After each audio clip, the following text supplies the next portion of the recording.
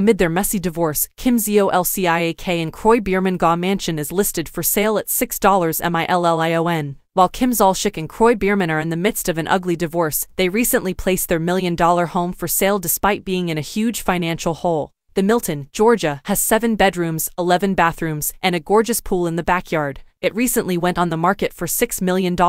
Kim and Kroy paid $880,000 for the property back in 2012, so if they sell it for the asking amount, they would make a big profit.